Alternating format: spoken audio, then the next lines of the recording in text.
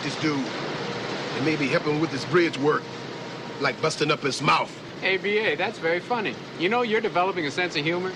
Slowly, but uh, it's developing.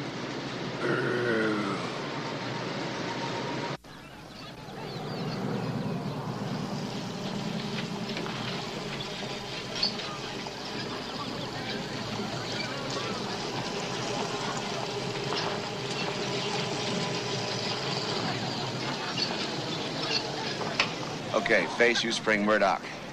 We'll regroup at BA as soon as I get off the shift. Enjoy the rest of the tour.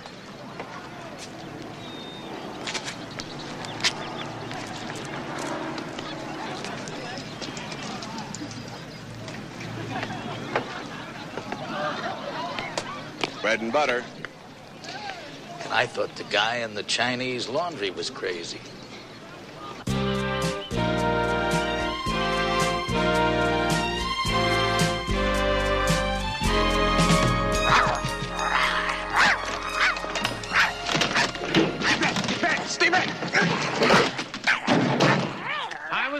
Was looking for H.M. Murdock's room.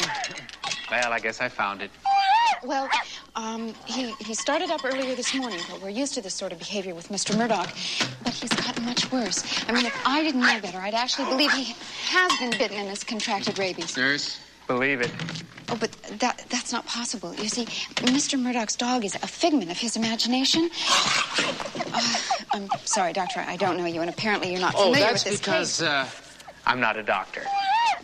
The United States Department of Animal Health and Welfare? One of your superiors was aware of the impending epidemic and uh, didn't want to take any chances. He's crazy. He's gone. He's foaming at the mouth and everything. I can't believe it. He has never been this violent before. He bit you. Oh, I'm going to have to have you in for an entire series of blood scans and uh, full rabies and tetanus board. Uh, could you get me that uh, wheelchair, please? Thanks. How can he have rabies? I mean, his dog isn't real. From animals that uh, escaped last night from Germany. Came in on a Lufthansa flight. They're supposed to be transported under airtight security to the Wadsworth Research Facility. Uh, Could you grab the door, please? Ah. Now. Easy, boy. Easy, easy. Whoa, whoa. Easy, easy. Get on the chair. Good. Okay, open up. Uh, could you step inside, please? Come on, come on, step inside. That's right, that's right. Uh, keys, come on, it's for your own good. I want you to uh, remain in quarantine until I can check back with you in a couple of days. Hopefully, by then, I'll have developed the serum you'll need. And uh, you're to speak of this to no one except Nurse Billings. Hmm? Uh, contact me immediately should he develop any strange symptoms, hmm, such as the desire to scratch behind his ears.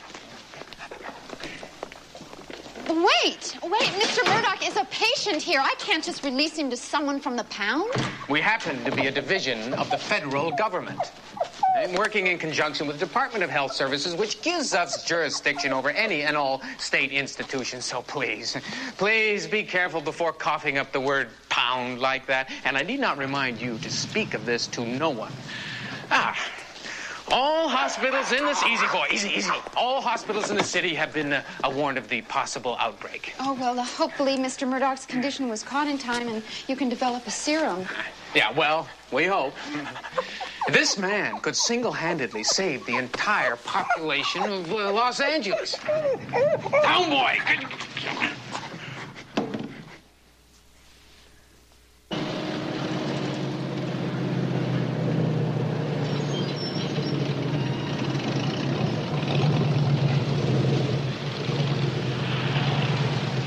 Do you understand?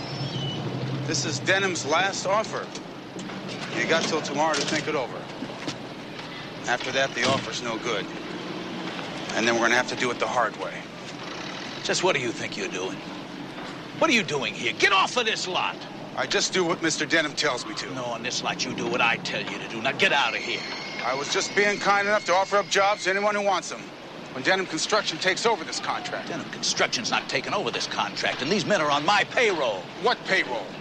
You guys finished signing the roster? What are you expecting to do, Mick? They all got families. Denham can't keep them working. can also keep them on unemployment. All right, you said your piece. Now, Denham doesn't have this contract yet, so you take those ugly guys of yours and get them out of here. When I'm finished, old man, Don't you call Uncle Mickey! The man said go. I take my orders from Denham. Be smart. Do the same. You guys look like you can work steel pretty well. Sign in. You're on the roster.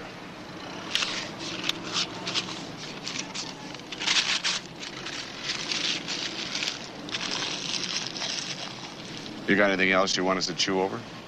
Maybe you should let some of the boys tell you what can happen to you if you work this job for Stern.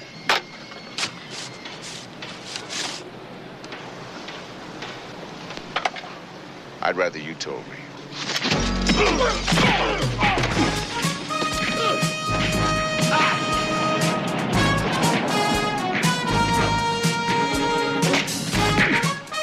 Almost predictable by now, isn't it? Sure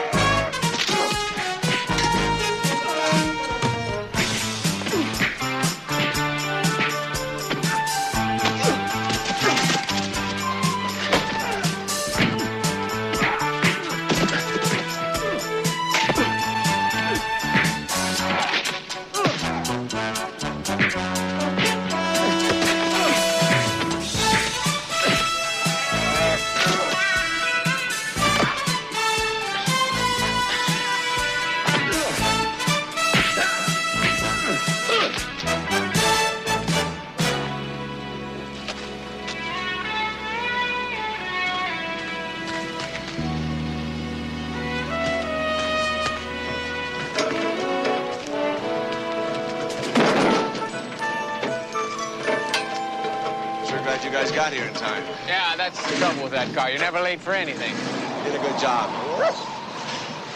Murdock, what are you doing? I'd say it was just an